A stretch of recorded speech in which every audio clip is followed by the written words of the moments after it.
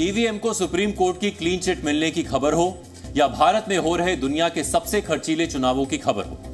आप में से कई लोगों को ये खबरें व्हाट्सएप पर मिली होंगी, और कई लोगों ने ये खबरें व्हाट्सएप पर शेयर भी की होंगी। लेकिन हो सकता है कि आने वाले वक्त में आप ऐसा ना कर पाए, क्योंकि हो सकता है कि भारत में व्हाट्सएप अपनी सर्विसेज़ बंद कर दे। दरअसल, आज दिल्ली हाई कोर्ट में व्हाट्सएप ने कहा है कि अगर उसे भारत में अपने यूज़र्स के मैसेजेस की जानकारी सरकार को देने के लिए मजबूर किया गया तो वो भारत से चला जाएगा। ये सुनते ही आपको भी टेंशन ज़रूर हुई होगी, क्योंकि हम सब रोज व्हाट्सएप में मैसेज करते रहते हैं। भारत में 50 करोड़ से ज़्यादा व्हाट्सएप यूज़र्स हैं। इसीलिए यह खबर 50 करोड़ लोगों को आज बिल्कुल भी मिस नहीं करनी चाहिए। सबसे पहले आपको बताते हैं कि व्हाट्सएप भारत में अपना बोरिया बिस्तर समेटने की बात क्यों कर रहा है। यह समझने के लिए आपको सबसे पहले भारत सरकार और व्हाट्सएप के बीच चल रहे विवाद के बारे में बताते हैं।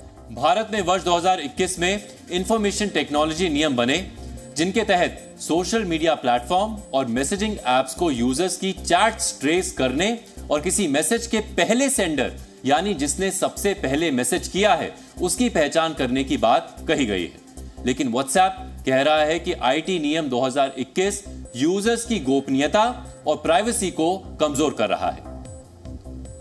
इसी को लेकर मेटा के दो बड़े प्लेटफॉर्म व्हाट्सएप और फेसबुक ने नए संशोधित आईटी नियमों के खिलाफ सुप्रीम कोर्ट में याचिका दायर की थी, जिसे सुप्रीम कोर्ट ने दिल्ली हाई कोर्ट में ट्रांसफ़र कर दिया था। अब हम आपको पॉइंट टू पॉइंट समझाते हैं कि आखिर इस मामले में सरकार और व्हाट्सएप क्या कह रहे हैं। सरकार कह रही है कि मैसेज कहाँ से किया गया है, हम इसका पता लगाना चाहते हैं। वैसे भी सुरक्षा के मद्देनजर मैसेज को ट्रेस करने का कोई मैकेनिज्म होना ही चाहिए। इस पर हाई कोर्ट में व्हाट्सएप की तरफ़ से कहा गया कि आईटी नियम 2021 यूज़र्स की गोपनीयता को कमज़ोर कर रहा है। मैसेज का इंक्रिप्शन खत्म हुआ तो व्हाट्सएप का काम ही खत्म हो जाएगा।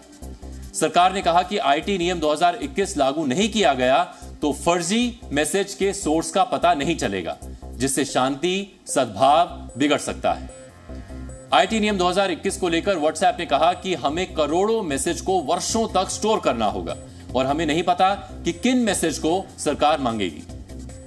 सरकार सुरक्षा और नियमों की बात कह रही है और व्हाट्सएप कह रहा है कि इंक्रिप्शन खत्म हो गया तो यूज़र्स की प्राइवेसी और गोपनीयता खत्म हो जाएगी। यहाँ जिस एंड टू एंड इंक्रिप्शन की बात हो रही है, वो एंड टू एंड इंक्रिप्शन क्या है? अब बहुत कम शब्दों में आपको यह बताते हैं।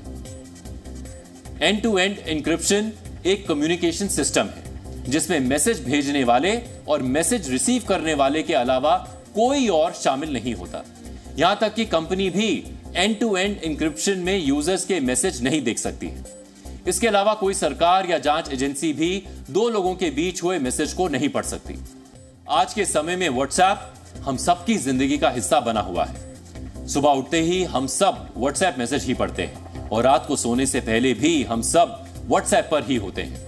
इसी से समझ सकते हैं कि व्हाट्सएप कैसे ज़रूरी बन गया है। लेकिन व्हाट्सएप अगर भारत में चल रहा है तो उसे भारत के नियम भी मानने चाहिए। इसमें व्हाट्सएप को कोई दिक्कत नहीं होनी चाहिए।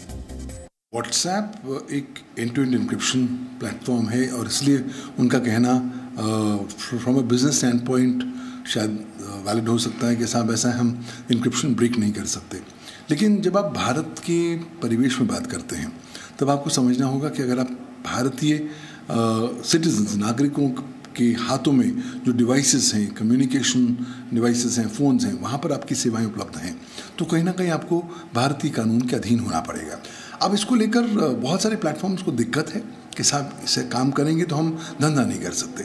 लेकिन उन्हें समझना होगा कि कहीं ना कहीं ये जो प्रोविजंस आईटी रूल्स में बनाए गए हैं, वो इसलिए बनाए गए हैं ताकि कहीं ना कहीं भारत की प्रभुता, अखंडता या सुरक्षा को नकारात्मक रूप से प्रभावित न किया जा सके।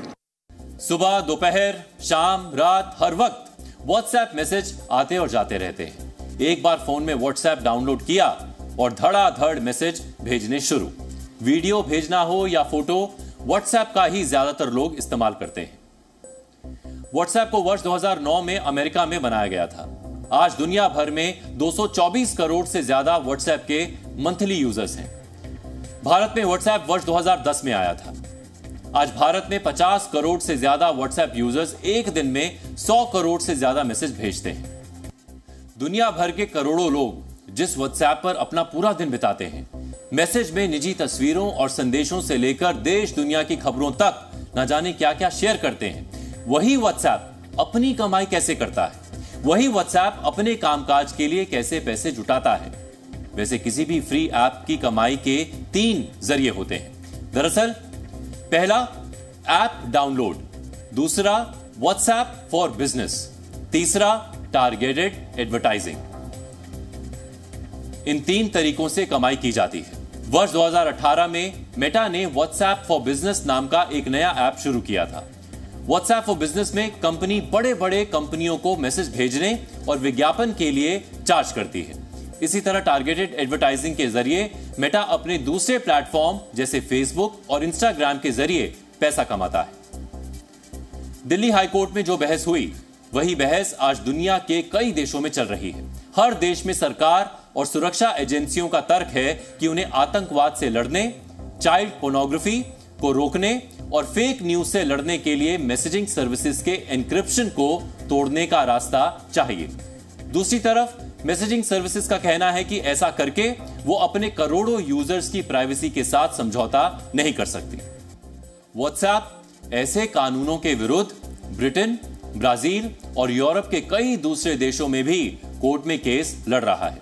पिछले वर्ष ब्रिटेन में भी व्हाट्सएप ने यही धमकी दी थी कि अगर उसे इंक्रिप्शन शेयर करने के लिए मजबूर किया गया तो वो ब्रिटेन छोड़ देगा।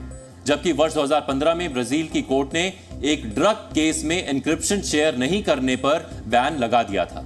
हालाँकि कुछ दिन बाद इसे हटा लिया गया था। एक तरफ़ यूज़र्स की प्राइवेसी का सवाल है और दूसरी तरफ़ करोड़ों लोगों की सुरक्षा का सवाल है। इसीलिए ये कोई आसान बहस नहीं है।